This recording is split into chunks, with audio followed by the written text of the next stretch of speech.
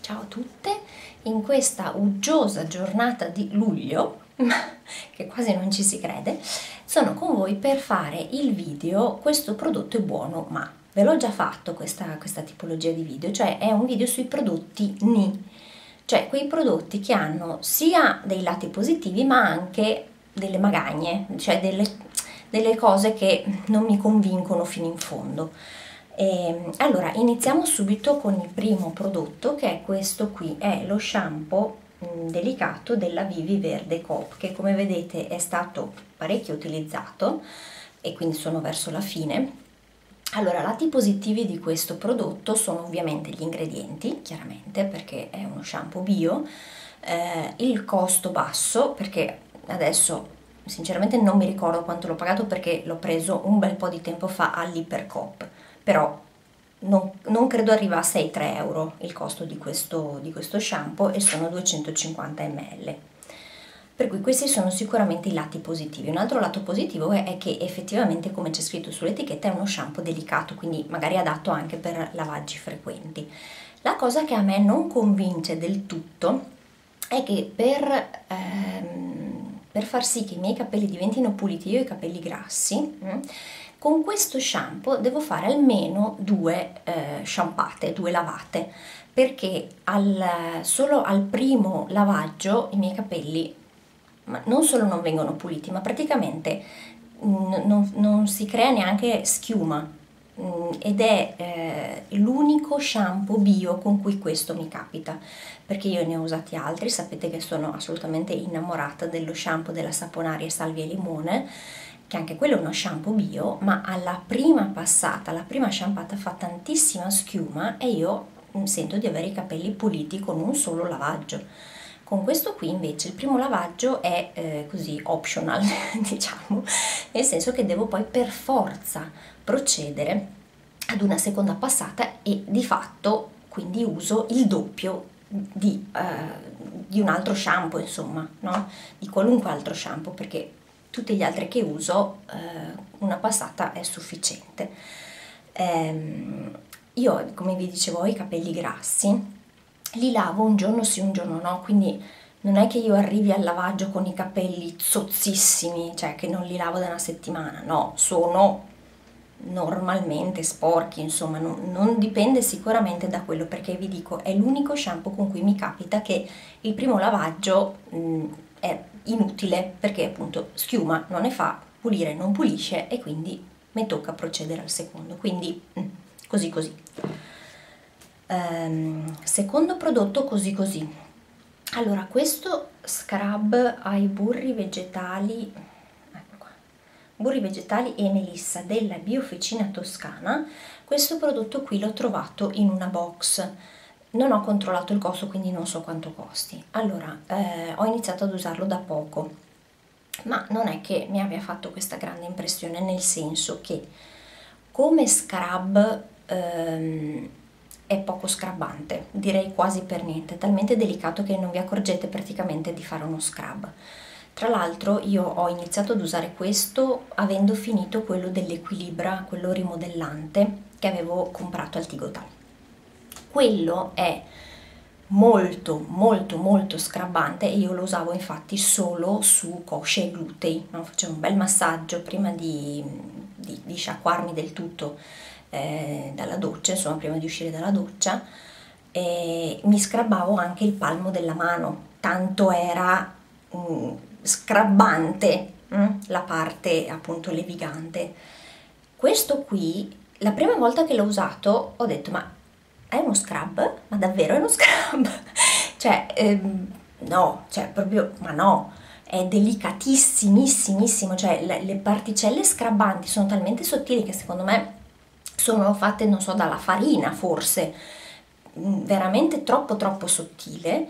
E un'altra magagna è che la parte vi faccio vedere la parte burrosa e cremosa di questo scrub vediamo se riesco ad aprirlo eccolo qua eh, è talmente ricca che eh, vedete è proprio una, una crema hm? è talmente ricca che eh, io di solito cosa faccio? Mi insapono con un doccia schiuma, passo lo scrub, sciacquo e poi esco dalla doccia. Con questo non è possibile assolutamente perché la parte appunto dicevo burrosa è talmente burrosa che vi ungete tutte, quindi per forza di cose non si può eh, scrabbarsi e uscire dalla doccia perché rimarreste appiccicati al, ehm, all'accappatoio e, e completamente unti. Quindi non va bene, nel senso, va bene perché ehm, uscite dalla doccia che non vi serve la, la crema idratante, questo è poco ma sicuro. Eh, ma io devo procedere, prima di uscire dalla doccia, devo procedere ad un secondo lavaggio, perché non è possibile uscire dalla doccia eh, semplicemente sciacquandosi con l'acqua, perché tra l'altro si diventa idrorepellenti, è talmente burroso, è talmente unto che si diventa veramente idrorepellenti, cioè la, la, l'acqua della doccia fa proprio le, le, le, goccioline, le goccioline separate mm, sul, vostro, sul vostro corpo e assolutamente non si può. È un prodotto che sicuramente va benissimo per le persone che hanno la pelle molto delicata e molto secca perché sicuramente è fatta da ingredienti nobili come tutti i prodotti della Biofficina Toscana e sicuramente molto molto nutriente, quindi questi sono gli aspetti positivi. Ma eh, sì, ecco, diciamo che mh, mm, non è sicuramente il mio scrub ideale, ecco, per tutti i motivi che vi ho detto prima quindi altro prodotto che mm, mi convince fin lì. Adesso ci sono tre prodotti unghiosi e smaltosi. Allora, il primo è il famoso ormai barattolino leva smalto della Essence. Allora, anche qui lati positivi, costa poco, è facilmente reperibile ed è sicuramente comodo, c'è poco da fare. Eh, si presenta con la sua spugnettina che ha il buco, adesso non lo piego troppo perché sennò esce il il solvente comunque ha il suo buchino nel mezzo no? nel mezzo della spugnetta voi infilate il dito ruotate un pochino e in poco tempo uno smalto non particolarmente difficile viene tolto qual è secondo me la magagna? La magagna le magagne veramente perché ne ho rilevate due le magagne sono che il solvente che c'è all'interno puzza da morire che Mm, bisogna dire la verità, è una caratteristica che appartiene alla maggior parte dei solventi, perché di solito non è che siano così profumati, però veramente, cioè quando lo apro mh, mm, per togliermi lo smalto, devo, cioè, devo veramente allontanarmi perché ha una puzza che non si resiste.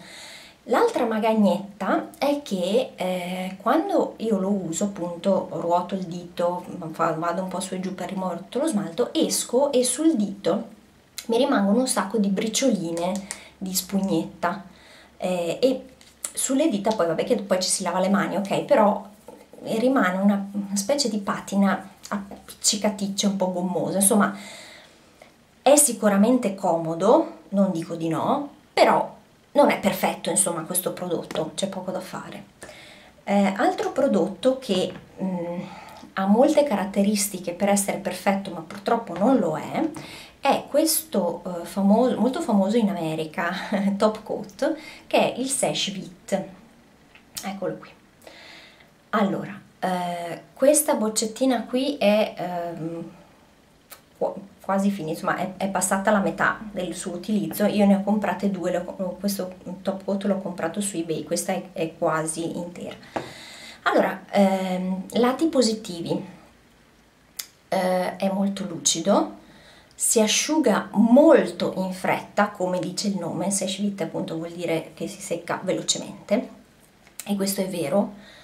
Ehm, sono 14 ml per cui ce n'è anche tanto, io l'ho comprato ancora l'anno scorso, queste due boccettine le ho comprate l'anno scorso su ebay e non mi ricordo quanto le ho pagate ma non tantissimo, credo di aver pagato sui 15 dollari compresa la spedizione, più o meno. Eh, il problema di questo top coat qual è? Che dopo un po' che si utilizza diventa eh, sempre più pastoso, sempre più denso e difficile da stendere e quindi bisogna per forza usare un diluente. Seconda cosa, quando si asciuga si ritira, quindi fa così e, e, quindi voi lo stendete, vi sembra bello omogeneo, vi sembra di aver coperto tutta l'unghia, eccetera.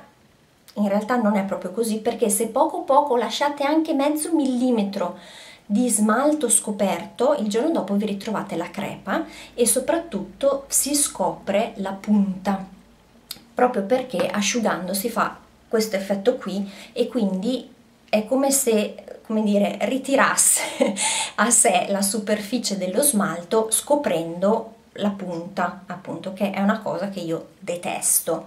Quindi buono per certi versi, terribile per altri consigliatemi un buon top coat per favore perché ne ho bisogno.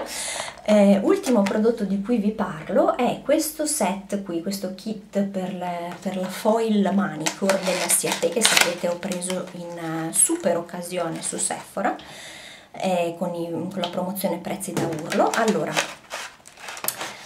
che cosa di buono?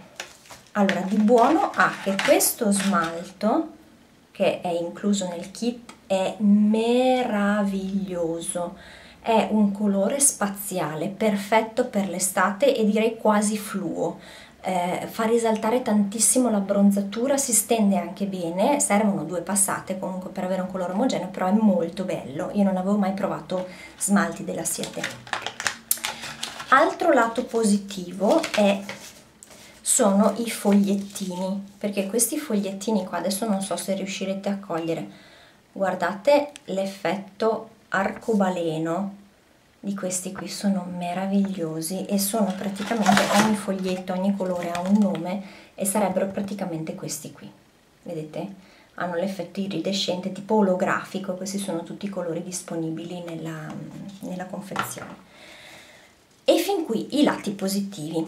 Il lato negativo che è fondamentale per questo tipo di manicure è la colla io ho, usato, ho tentato di usare per la prima volta ieri sera questo kit, ma come vedete non ce l'ho addosso, io qui ho messo i nail patch della Kiko, li ho messi stamattina così per emergenza, proprio perché eh, ho dovuto levare tutto, nel senso che questa colla eh, che all'inizio mi sembrava fare eh, egregiamente la sua funzione, in realtà non si è mai seccata, non si è mai asciugata del tutto, per cui stamattina mi sono ritrovata la manicure tutta rovinata, perché andando a letto, ovviamente, rigirandomi tra cuscino, lenzuola, eccetera, mi si è tutta rovinata la manicure. Avevo fatto un accent manicure in cui sul pollice e sull'anulare avevo eh, praticamente ricoperto tutta l'unghia con uno di questi fogliettini qua come effetto effetto arcobaleno, insomma effetto olografico che mi era piaciuto da matti, ne ero entusiasta. Sulle altre unghie avevo fatto una specie di, mm, di French così un po', un po' sbiega, un po' laterale e l'effetto mi era piaciuto tantissimo, ma mi ero accorta quasi subito che i tempi d'asciugatura erano troppo lunghi. Ma in realtà questa colla, questa qui che è, che è inclusa nella confezione, non si è mai asciugata del tutto mandando in malora tutta la manicure, infatti stamattina ho dovuto levare tutto. Quindi mm, non lo so, beh, ripeto, è la prima volta che io mi cimento con questa manicure, forse ho sbagliato qualcosa io, ma eh, cioè, le istruzioni mi sembravano abbastanza semplici, ho anche visto qualche video tutorial su YouTube, per cui non mi sembrava una cosa così complicata. Eh, riproverò e vi farò sapere e probabilmente proverò anche un altro tipo di colla per vedere se sono io che sono impedita o se è proprio questo prodotto che non va bene. E, e quindi basta per que questi erano tutti i miei prodotti ni del momento. Vi faccio notare questi orecchini che secondo me sono meravigliosi che mi ha regalato eh, Paola l'anno scorso li ha fatti lei. Questi qui sono realizzati con una pazienza infinita secondo me con semini di melone ehm, colorati, bucherellati e fatti appunto così a, a, cerchio. I colori li ho scelti io e lei me li ha gentilmente omaggiati ancora l'anno scorso. Li porto d'estate perché secondo me sono colorati freschi ed estivi. Quindi grazie Paola. E basta. Um, per oggi con i prodotti Ni ho finito. Fatemi sapere, aspetto come sempre i vostri commenti e ci vediamo al prossimo video. Ciao!